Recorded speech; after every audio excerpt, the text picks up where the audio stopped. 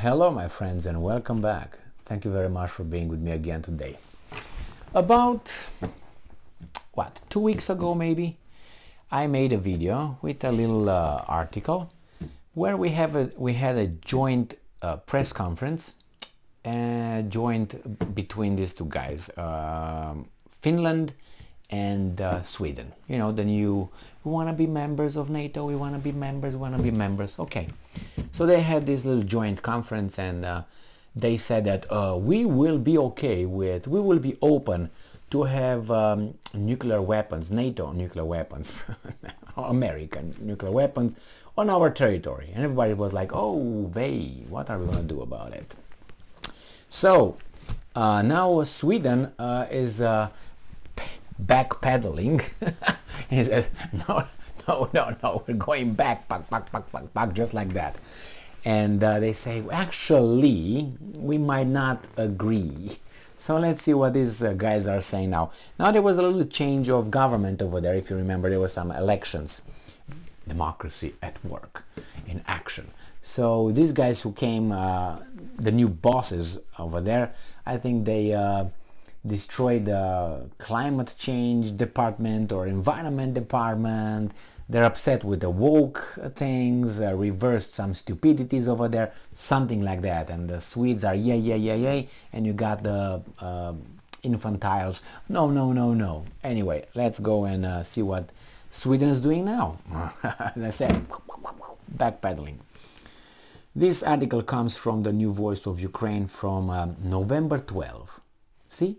But today is November 11th over there is already morning at 1.06 a.m. They put this over there and I was fast, fast, fast. All right, so Sweden will not join NATO's nuclear deterrent sharing program. What a weasel title.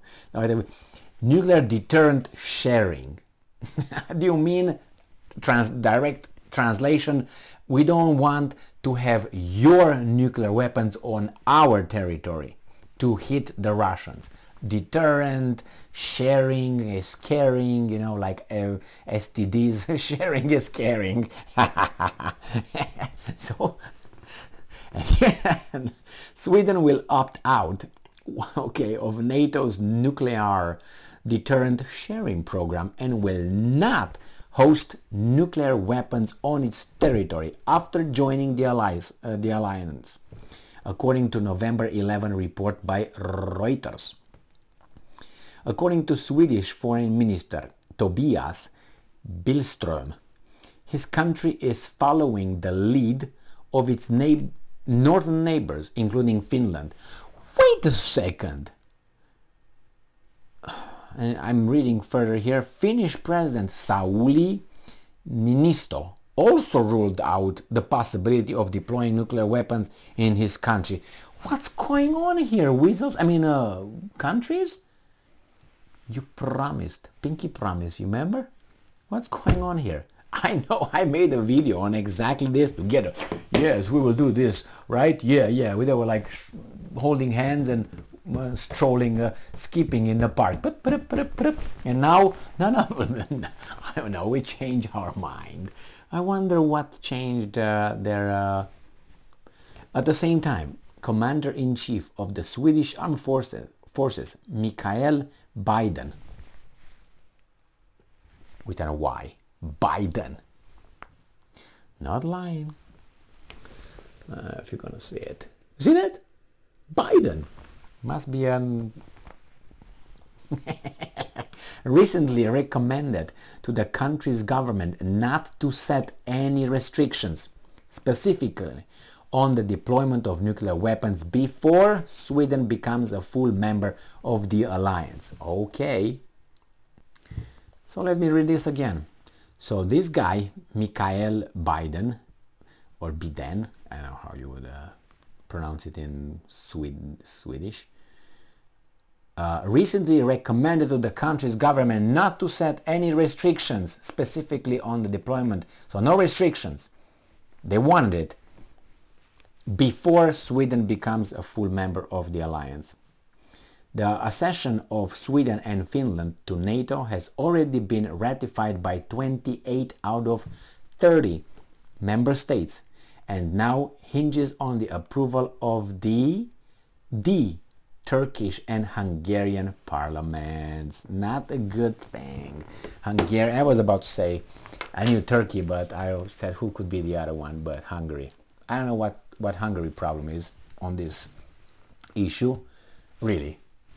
I know uh, Turkey has a little problem with uh, both of them, and they're working on it, they said. And Erdogan said, you know, buddy, you bring those, you make those laws, you give us weapons, you lift the sanctions on our uh, weapons industry, uh, your weapons industry to deliver us, do business with us.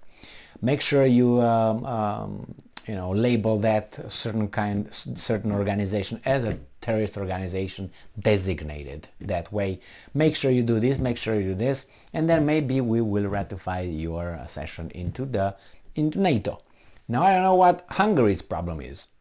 The first time when I hear that Hungary has a I don't know, sore ball or something. I don't know what's going on with them. it's, uh, but hey, you never know. Uh, maybe they have something to, uh, you know, to get back. And I give you this, you give me this. But I haven't heard. I don't know what could be. They're, they do not have anything economically. They don't have anything uh, militarily. The only thing that I could think is uh, they want something. What is that? I don't know exactly yet, and I will let you know. Uh, what is that? I will let you know because I don't know yet. And uh, maybe it's because they're Putin's friends, and Putin told uh, Orban, "Don't do it, don't do it." All right. Um, we'll find out. The thing is that I'm surprised why these guys changed course or at least they say we will not have it because before they said they're open to have that and now all of a sudden it's not even open it's clear closed doors. So um,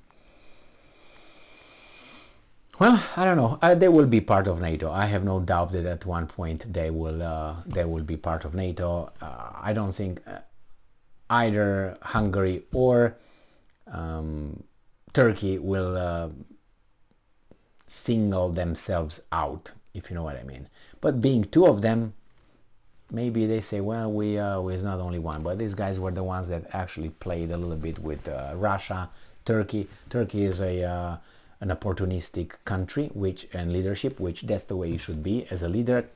You look for opportunities to uh, uh, make sure that your population has what it needs.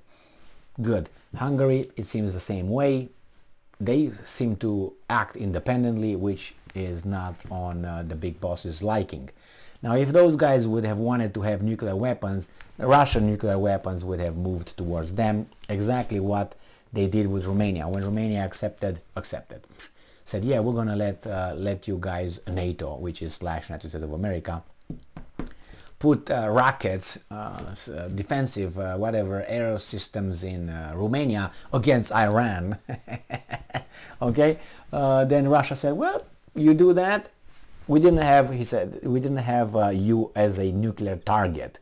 So your country, your country was not under our, how's that word, tactical nuclear hit. Now he said, you are. So good job. But Romanians are happy that they are protected by the Americans. When the Russians are going to blow them up, uh, they're going to say, thank you very much, uh, America. Yeah. All right. Well, anyway, Weasels. Uh, look what's going on in Romania. There are a Belgian uh, uh, military over there, uh, American, French, what else? I think Brits, everybody's over there. I don't know, the Tower of Babel or something. That's what's going on over there. Sodoma and Gomorrah too. Thank you very much for being with me again today. Stay strong, stay smart, look for the truth, and be just.